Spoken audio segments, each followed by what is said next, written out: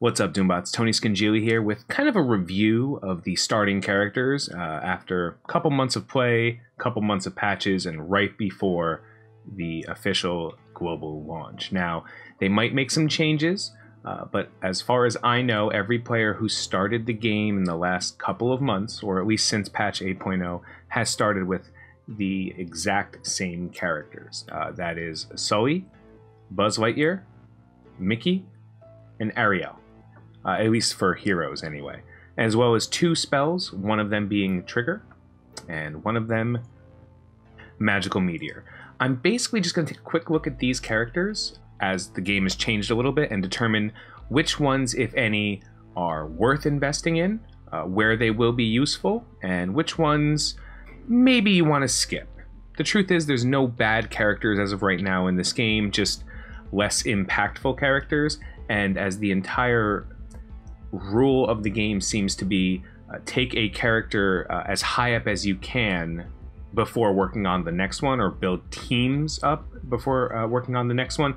It's kind of relevant to keep track of where you're going to get value. So we're going to start with ariel a character i already did a character spotlight on so i don't have to go too much detail. Uh, she is a pretty decent healer with a big damage ultimate attack a leadership ability that grants maximum health to everyone, which is phenomenal in the early game. It's giving you a little bit extra survivability in the fights to help you sustain.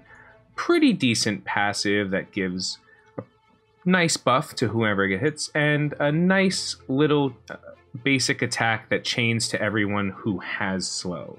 Works very well with Sully, but nothing really has changed as far as her kit or where she's useful or how much value you're going to get out of her. What has changed is the towers. The towers now have a requirement based on certain origins downtown, mythical, oceanic, kingdom. And because you start with at least one oceanic character in Ariel, it's a pretty good idea to utilize her for as long as you can uh, in the early game before shifting out. And you'll see that when you enter the first tower. Now, the next character we'll look at is Sully. Sully is a tank character with moderate damage. Uh, the basic has an opportunity to call for an assist. The special, first special, I'm calling this the special, is a AoE for, again, moderate damage with a chance to inflict fear. Fear uh, prevents characters from dodging or uh, having or avoiding debuffs, gains taunt, and a chance to gain defense up per hero teammate. So all in all, pretty decent tank. His ult is the only thing he does that really does damage, and if the character is affected by fear, you see where it goes. The thing that makes Sully interesting is that he's a downtown character, one of the tags required for the second tower. So having early access to Sully is really going to help you build out that team and complete the second tower. So Sully, great character all around, not uh, truly a master of anything, but a good tank. And if you start off with him, you shouldn't regret too much investment, at least two, as you always hear me say, the fours. Level 40, gear tier 4, up to 4 stars. Uh, another benefit to Sully is as a downtown hero character and as a tank, there are a lot of events that benefit you from having access to four, five, six star characters. So while you may not want to work Sully all the way up to seven, getting a, a little bit of uh, forward momentum on him is definitely going to help you in a lot of the events as they are right now. Uh, Buzz, another downtown character, but a little bit more valuable than Sully. Now he has pretty decent damage on his basic. His special has a also pretty decent chunk of damage. Uh, if Woody is present, Woody is an event character at the time of this video, so it's unlikely you're going to have him, but you have a chance to assist. That's not bad. His ult is really what uh, his kit is kind of designed around. It is a pretty huge chunk of damage, uh, and the fact that it does bonus damage if the target is infected by vulnerable, huge because that means you're going to crit for even more damage than you would have normally. And the stun incredibly relevant. He's also relatively fast, so you can probably get a stun off really early. And if you're doing early game PvP arena, uh, couldn't make the difference between a win or a loss. As for his passive, interesting. Only works with Toy Story characters, so lose a little bit of value. But what you do gain when you invest in Buzz early is the ability to take part in the Toy Story event.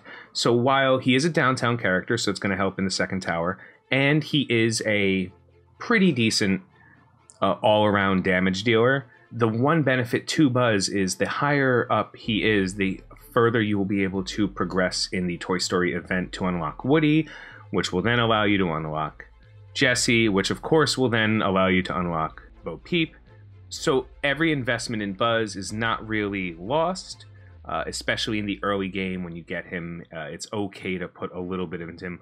Again, at least to the fours, you should be okay. Uh, Mickey is the last. Now, I can tell you all of my knowledge of Mickey comes from other players. I skipped Mickey relatively quickly. Not because I didn't like him, but because at all points, I had a, a better series of kingdom characters to work on because of spending or luck or the way events panned out for me. So Mickey is a phenomenal character. Just getting that out there. His basic moderate damage with a 30% chance to inflict defense down for two turns. And that's very low investment. So that character is going to be taking extra damage on basic. His special uh, it is a double attack. It is a double attack. Each attack has a chance to crit, and every single one has a chance to decrease the speed meter. That's huge. That's you technically can take a character down 60% turn meter. That's a lot. Uh, even if it only hits, you know, 20% one or two times, that's still a decent turn rewind. And it's not too bad damage. And just like with Sully, his ultimate deals AoE damage to all opponents present and a 30% chance to afflict slow for two turns, making Ariel's basic even better.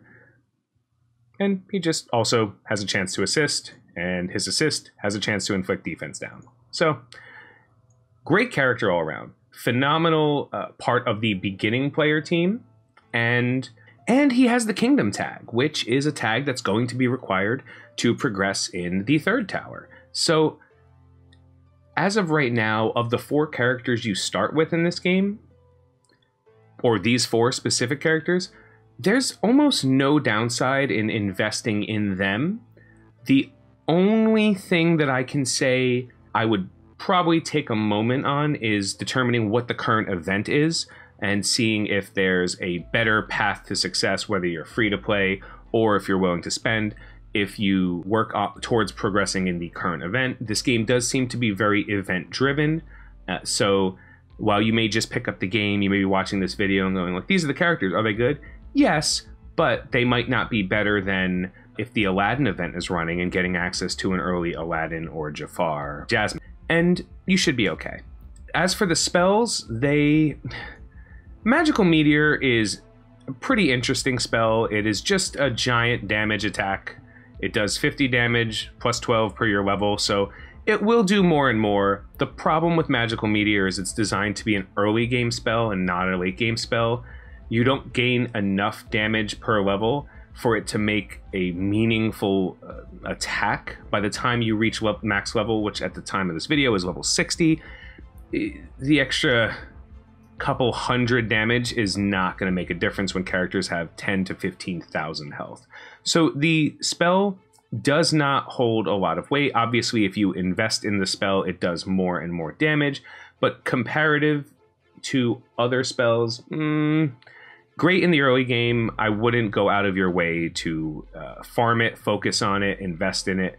Uh, it will be replaced relatively quickly, usually by either an event spell or one of the spells you unlock in the tower. Trigger, on the other hand, at least as of right now, Trigger, he has a lot to work with. For example, most spells, they have an effect and they're done. Trigger is one of a few that makes a new character appear on the screen. And Trigger has a lot of health, especially at lower levels. You're going to find that your trigger is going to survive more than maybe your Mickey will in the early game. And your opponent's triggers are also going to survive longer than any of their or your characters. And you can resummon Trigger when his health gets low anyway, just to make sure that you start with a new. He also uh, attacks multiple times. If he kills a character, he gets to take another turn. Uh, as you invest in him, as you can see, I have a level 3 trigger. Uh, he does a decent chunk of damage. It's not a lot. It's more of an execute, if you're familiar with that term. It's when a character is low, you're going to use it. But it also has a chance to inflict continuous damage. Uh, if you're familiar with other games, Poison or Bleed Stack, it's a damage ability that waits for the beginning of that player's turn to take effect. And it's pretty solid. In the early game, you're going to hate seeing triggers. You're going to love your trigger and hate other triggers.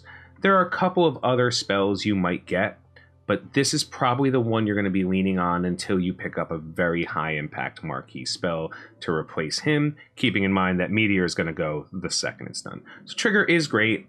There's uh, some added benefit to using Trigger with uh, some of the Kingdom characters you might be interested in, like Sheriff of Nottingham or Robin Hood. So you won't necessarily regret much of the investment in Trigger. He does kind of lose a little bit of his luster at the fours, like once most of your characters are level 40, Trigger doesn't do as much uh, until you keep him, you know, as leveled, and, and that becomes a little bit of a difficult issue. But in the early game, and even on some defenses in Club Conquest or PvP Arena, you'll find you'll still find triggers because overall they just extend the time of the game, which might help you in a timed node or in a game mode where it might be a very even match. So that's kind of it. That's the review of the heroes characters you start with in the game. Uh, the only thing you'll notice is a giant empty slot here. Uh, and that's what you're going to start working on. And that's for another video. Obviously, I'm also going to do some villain character video after this.